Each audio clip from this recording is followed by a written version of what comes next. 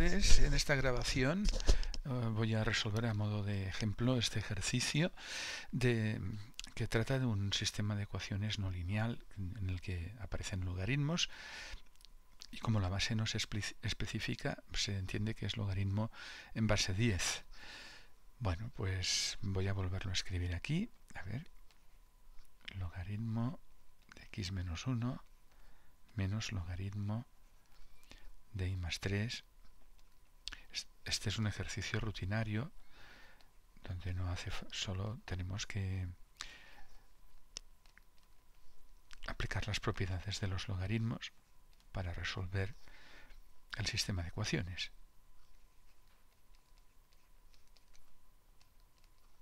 Bueno, ya lo tengo escrito para empezar a desarrollarlo. La, segunda ecuación, bueno, la, primera ecuación, es, equivalente a lo siguiente, es el logaritmo, la resta la diferencia de logaritmos es el logaritmo del cociente. Y esto va a ser igual a 0. La segunda, eh, vemos que dos veces el logaritmo de x lo podemos poner así. El logaritmo de x al cuadrado. Vamos a hacerlo en dos pasos, más el logaritmo de i más 1. Y esto va a ser igual al logaritmo de 2 elevado a la cuarta. Estoy aplicando las propiedades básicas de los logaritmos. Que recuerdo cuáles son. Las voy a poner aquí al ladito. Eh, dice que el logaritmo en base b de a, si es L, es porque es la, propiedad de, reciprocidad entre logaritmos y exponenciales, porque b elevado a, a L tiene que ser igual a A, donde b eh, tiene que ser mayor que 0 y A también, si no el logaritmo no está definido. ¿Vale? ¿Os acordáis, no? Esta es la propiedad fundamental de los logaritmos. Luego tenemos estas otras, que algunas de ellas las, estoy, las he utilizado ya en el paso anterior. El logaritmo en base b de a elevado a m es m veces el logaritmo en base b de a. Otra, esta es la, más importante, claro, es la que define los logaritmos. La otra es la ya he usado, es que el logaritmo en base b de a más el logaritmo en base b pues de, de a', vamos a llamarle a', esto es igual al logaritmo en base b de a por a'. ¿Vale? Eh, si en lugar de sumar, de estar sumadas los logaritmos, aparecen restados, el logaritmo de la diferencia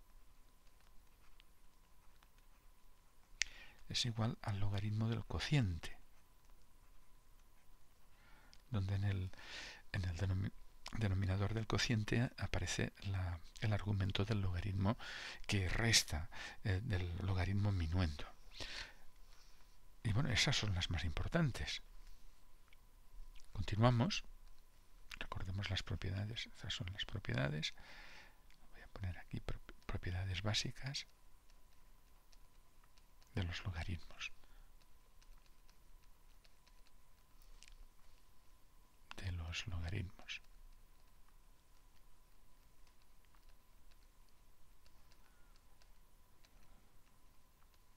Muy bien, pues ahora continuamos con lo que estábamos haciendo. Eh, la segunda, la segunda ecuación, las etiqueto por si me tengo que referir a ellas, la segunda ecuación se puede escribir así, en base a estas propiedades, tal como escribiré ahora. La primera la dejo de momento tal como está. Y la segunda, como la suma de logaritmos es igual al logaritmo del cociente, por esto me queda x al cuadrado por i más 1. El logaritmo de x al cuadrado por i más 1. Y esto tiene que ser igual al logaritmo de 2 elevado a cuarta. Bueno, y esto es igual a 0, por cierto. Bueno, fijar, fijaros que si los logaritmos son de la misma base, entonces eso quiere decir que los argumentos tienen que ser iguales, ¿no? Y por otra parte, como cero se puede poner como el logaritmo en base 10 de 1,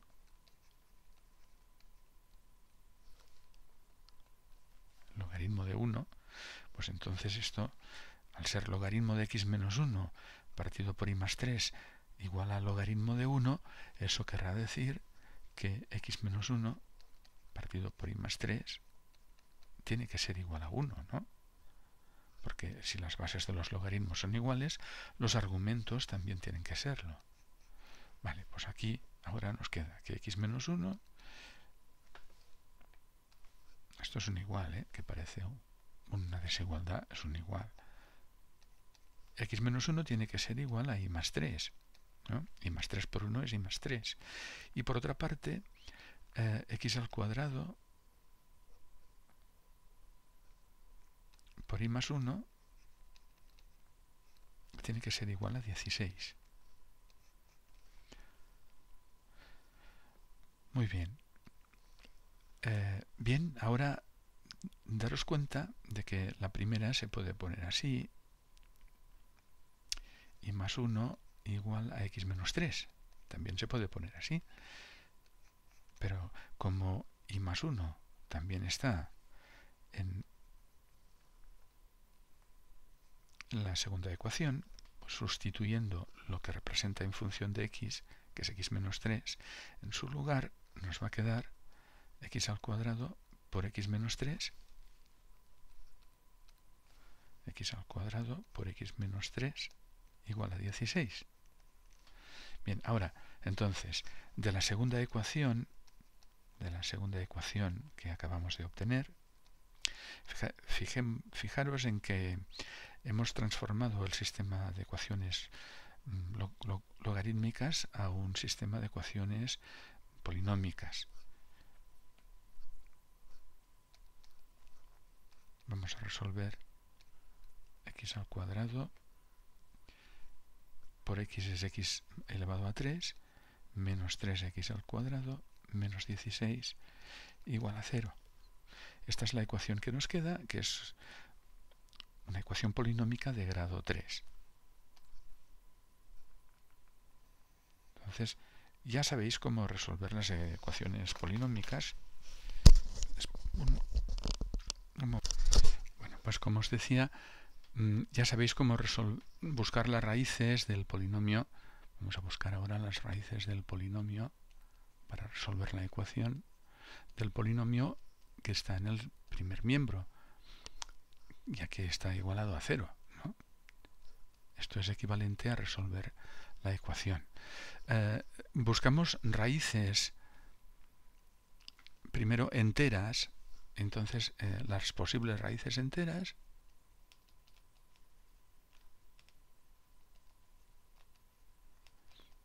démonos cuenta de que el, el, coeficiente del término de grado mayor es 1, por lo tanto vamos a buscar directamente las posibles raíces enteras, que son divisores.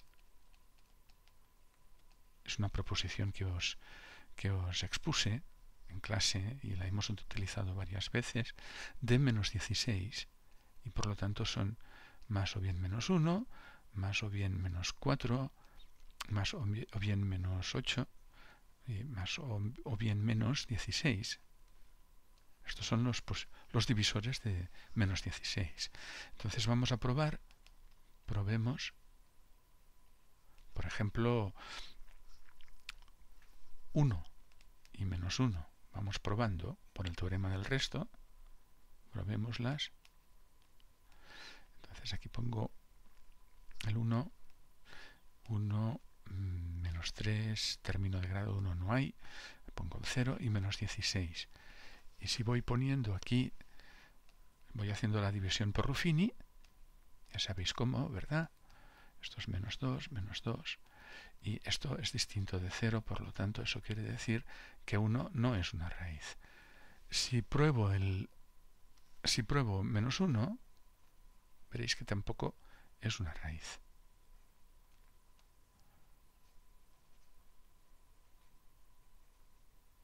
Vamos a probar menos 1.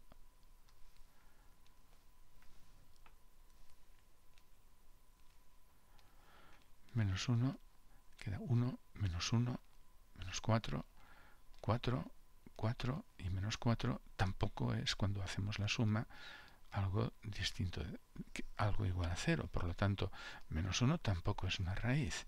Vamos a probar ahora el siguiente en cuantía, que el 4. Siempre empezamos con los más fáciles de, de manejar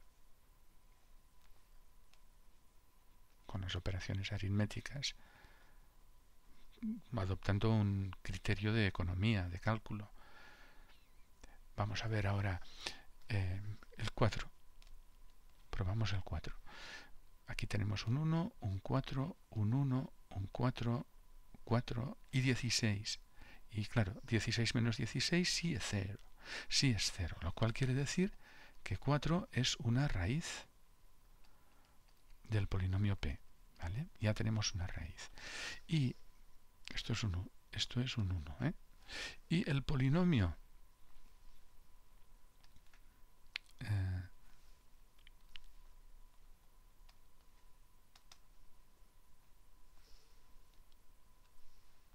el polinomio dado por estos coeficientes que será de grado 3 es el polinomio x a la 3 digo a la 3 de grado 2 va a ser perdón de grado de grado 2 un grado menor que el que teníamos ya que lo hemos dividido por x entre x menos 4 es x al cuadrado más x más 4,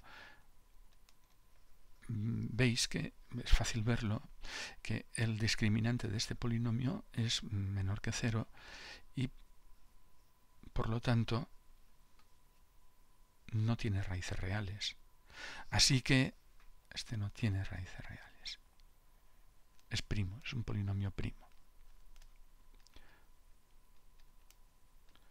Luego, la única solución de esta ecuación, claro, como el polinomio p de x por el teorema del factor es x menos 4 por x al cuadrado más x más 4, que es primo, esto es primo, la única solución de la ecuación polinómica es x igual a 4.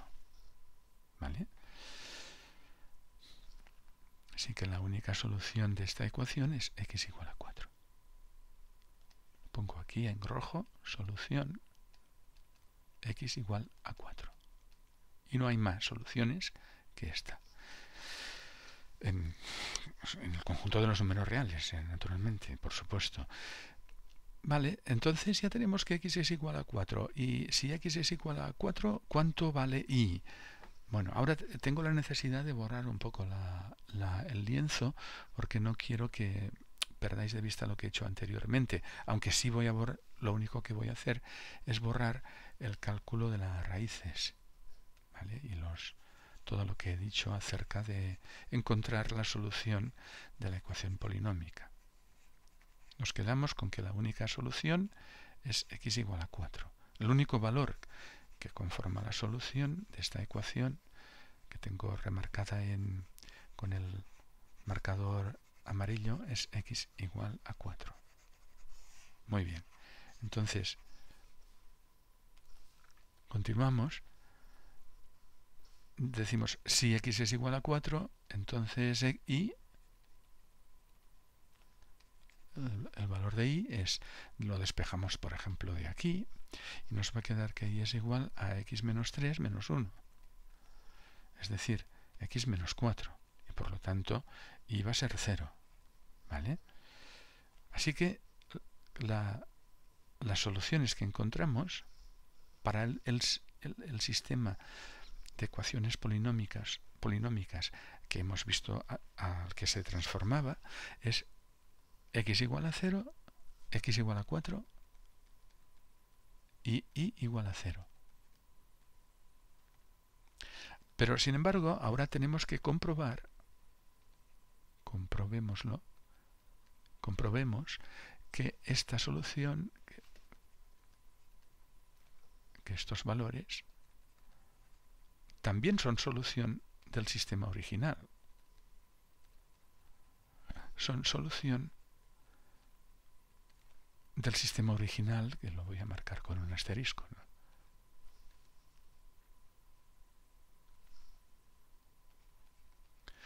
Claro, porque son solución de la ecuación transformada, pero no de la ecuación, no necesariamente tienen por qué serlo de la ecuación